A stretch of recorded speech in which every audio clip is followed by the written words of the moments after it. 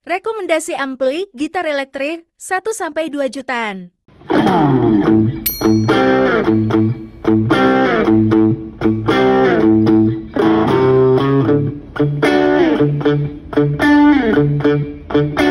Thank